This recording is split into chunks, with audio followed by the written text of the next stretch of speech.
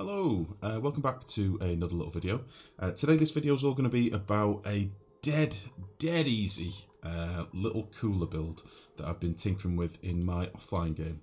Um, now, quite often I do videos uh, for these tips and tricks vids and they're mostly done in debug, primarily because it's easy to just throw a build together in debug. Uh, this is actually my single player game.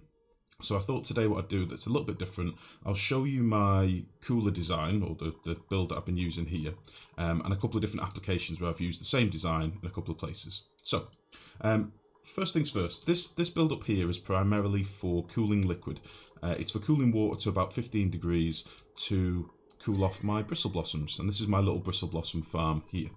Now, um, it relies on a couple of things. You do need to have a fixed amount of liquid coming in. You do need to have a feed of water, in this case geyser water, to top up the build.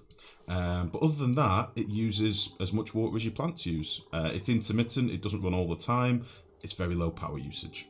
So, um, there's a little bit of automation going on here. I'll just explain the build first of all. What we've basically got, we've got a series of liquid pipes in the background here. We've got a pump that's connected to an aqua tuner. This pump either pumps water into the aqua tuner or bypasses the aqua tuner. Okay, dead easy. So it'll go into the aqua tuner if the aqua tuner is available through this port here. If not, if the aqua tuner is disabled by automation, it'll bypass and bridge into the aqua tuner's output, which is this pipe here. Okay, at which point it comes out of this vent. dead easy. This other bit of piping that's running across here, it looks a bit confusing, but it's basically a pipe to a vent with some bridges. Okay, this pipe is our top-up pipe that comes from our geyser water that's over here. And this is on a little liquid shut-off that's basically, again, connected with some really easy automation to this hydro sensor. So just to show you a bit of the automation, we've got a hydro sensor here that's basically saying if this water level drops below 20 kilos, top it up with some water from here. Okay.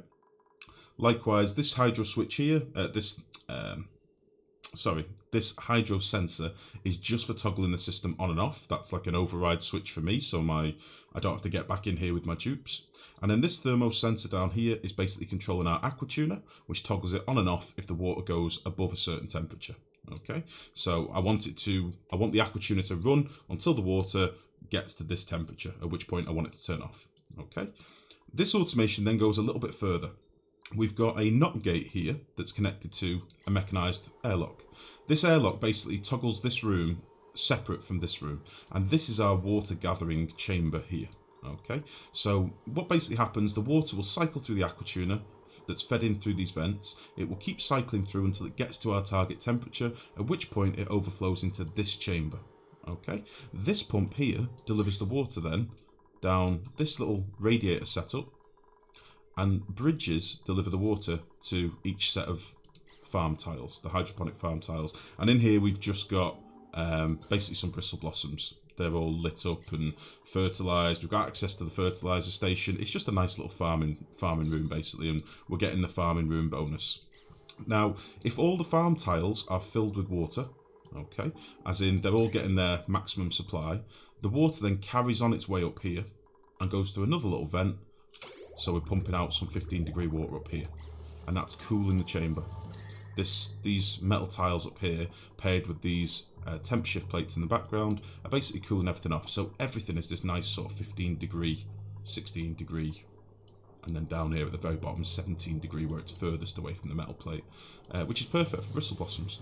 Um, so that's it basically. Uh, it's dead easy. We've got at the moment our pump is just running it's backing up as you can see now. The the liquid is being fed into this room. However this switch is toggled on which is basically saying we need some more water in the system. So our liquid shut off is enabled which is topping up the build and then it'll turn off and that's our liquid done. And this pump just runs based on a little bit of automation here as well We've got a hydro sensor so that I can turn the whole system off if I want. This basically says pump if you're above 500 kilos. And then we've also got a thermo sensor. And this is more for priming the system when I first set it up. Um, so I only want it to pump as long as it's cold water. Okay. Uh, and that's it. It just runs constantly. It's topped up with, as I say, my, my geyser water down here that's at 85 and a half degrees at the minute. Um, so the water does come in very hot, but it's instantly cooled. Um, Beautiful. So this is for bristle blossoms, um, something that you'll probably want to build in your base at some point, depending on what food you're going for. Um, but here's another application for it down here. So this is my natural gas gen room. Now, at the moment, my, my base isn't actually all that developed, as in I don't have massive amount of power that I'm draining. I've got a lot of little aquatuner builds here and there, uh, but for the most part, my power drain isn't that much. So my generators are intermittent. They toggle on and off as and when we need them. Primarily at the minute, my power is hydrogen power. So I've got these four hydrogen gens up here, and if I need it, these kick in and basically top my power up.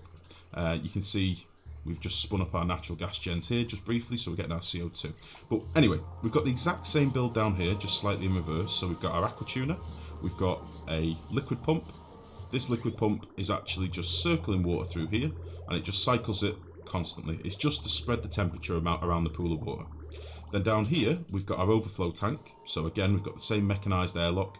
The liquid overflows. This pump picks it up. And then this pump is sending water up here through a valve that trickle cools over all of our generators, which keeps our generators lovely and cold.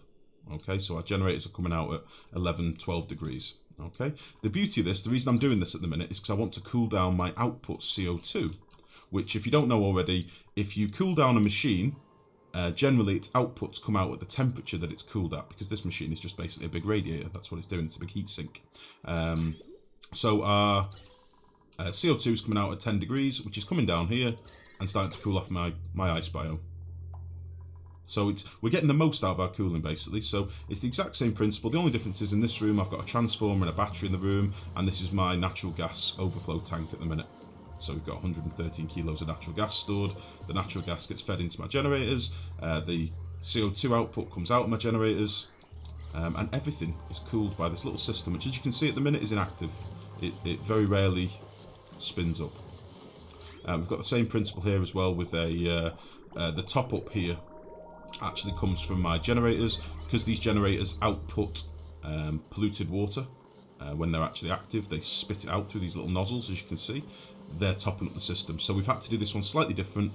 On this case if I have um, my water level goes above 50 kilos then this little liquid shut off sends the liquid to my polluted water tank all the way up here. Okay. So again, just a couple of different applications. A lot of people say that a, lot of my videos are all done in debug and you can't do it in a normal game. Well, this is my single player world. This is this is my life solo ranching. Um, so everything done in here is no debug at all. It's all just built normally.